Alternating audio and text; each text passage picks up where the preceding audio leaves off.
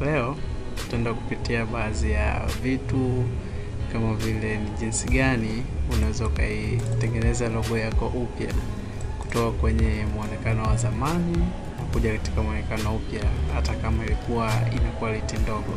Na hizi ndo mifano ya logo zetu ambazo tutaenda kuzijaribu, sio zote, lakini tutajaribu baadhi ambazo zitakuwa zinaonekana. Tutaona ni jinsi gani tunaweza tukailikava kwa njia nyepesi na kwa njia ngumu na ni njia gani unaweza ukazitumia kwa ajili ya kuifanya logo yako ionekane vizuri. Lakini pia kabla ya yote, usisahau kusubscribe kwenye chaneli yetu ili kuweza kupata vitu vya free kama vile logo sets, kutakuwa na intros kwa ajili ya video zako, outros, PNG pictures ambazo naweza nikawa nimezitumia artworks kama vile za Illustrator na zingine nyingi hata za Photoshop, pia na software zingine kama Sony Vegas. Kutakuwa na Cinema 4D na applications zingine ambazo zitakuja baadaye. Tukiishia hapo, ngoja tuanze kazi. Kwa leo tutaenda kutumia Illustrator kama unavyoiona. Ngoja tuchukue picha yetu, ambapo kama ni mara ya kwanza unatumia Illustrator, kuna baadhi ya basic inabidi uzijue ni jinsi gani unaweza ukaifungua picha yako kwa mara ya kwanza.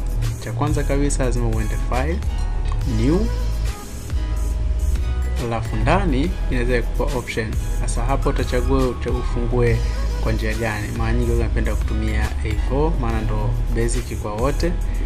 Nafungua kisema create, naweza kaisubiri kidogo ifunguke, na watu itakuja kama hivyo. Kisha kuja mara nyingi waga napenda iwe imelala, kwa unakuja kwenye artboard tool ambao unakuja kuichange hapa juu landscape, lakini pia kuna shortcut ambayo ni nzuri kama nataka kuchange pia size, na kuja kukliki hapa juu. Nachagua nataka A4, A3, B5, B4 na zingine nyingi zipo huku chini, ni wewe tutaamua. Baada ya hapo, kuna njia nyingine unaweza kaitumia kukaenda file. Then ukasema open, wanakuletea option, unachagua unataka kufungua kipi, naenda kwenye faili lako and then unachagua unataka kuchukua picha, inakwambia ile pale and then unasema open, au unaweza ka double click ikafunguka na picha yako ndo hii hapa. Hiyo ni njia ya kwanza, na njia ya pili unaweza uka drag na kudrop. Tunafanya kama hivi, unafungua faili lako, unaidrag, unaleta kwenye Illustrator, unaifungulia hapo. Ukiweka huku pembeni inafunguka kama new, lakini saizi imegoma kufungua kwa sababu hii hapa ipo tayari.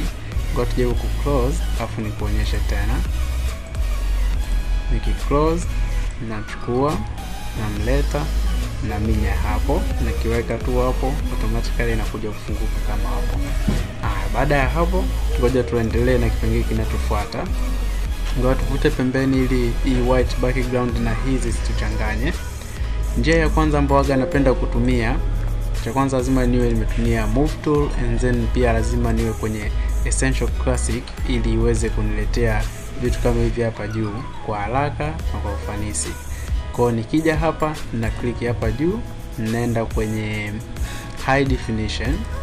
Hii ni njia ya kwanza, italanda itakuletea.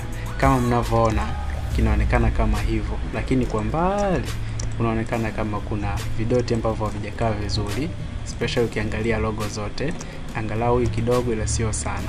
Hii nayo pia imefanya hivyo hivyo Tukija za chini pia nazo hizo hizo, Nike pia imefanya hivyo hivyo, hii imefanya hivyo hivyo, pia Pepsi imefanya hivyo hivyo.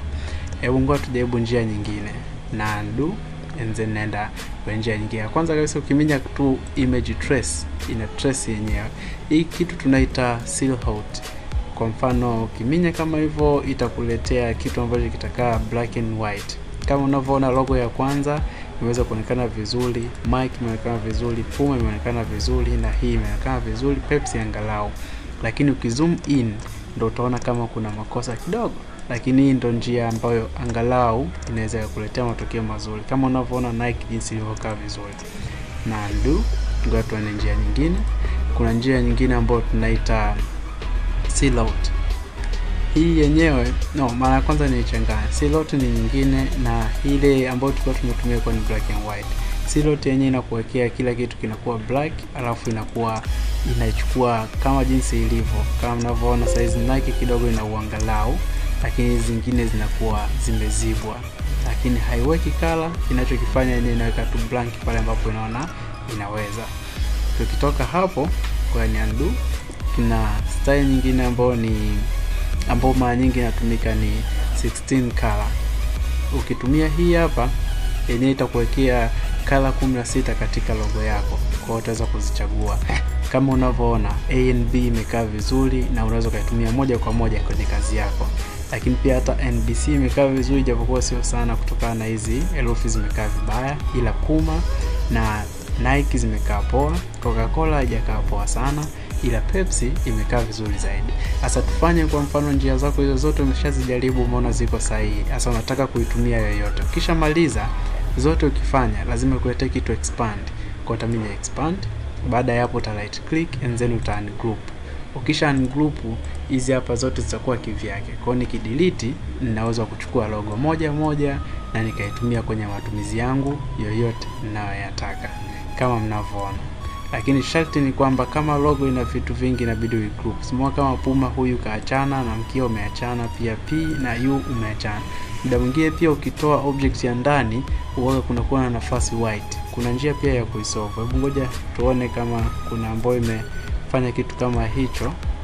Mara nyingi waga inatokea mara chache, sio mara nyingi, lakini in case kama imetokea zote hizi hazina. In case kama imetokea, utaziselect object zote and then utakuja kwenye hii tool tunaita shape builder tool, utaikliki and then utaminya alt ya katikati. Ukiminya alt itakuonyesha alama na itakuonyesha viboksi sehemu ambako itaenda kutoa. Kwa mfano, kiamia hapa itaonyesha ndani, kiamia hapa itaonyesha huku, kiamia hapa itatoa hapa. Kwa mfano hapa nikiminya itatoa ile sehemu white. Kwa ngoja tuiache kama ilivyo, maana hatuna haja ya kuitoa kwa sababu kila kitu tulichokuwa tumekitaka kiko sahihi. Kwa hiyo ngoja tuiache kama ilivyo, na kama mnavyoona unakuwa umeshamaliza kutengeneza logo yako, inakuwa katika ubora wake ule ule kama wa zamani, na maisha yanaendelea. Asante kwa kutuangalia, na usisahau kusubscribe kwenye chaneli yetu ili kupata updates zote na kujua mengi zaidi. Asante.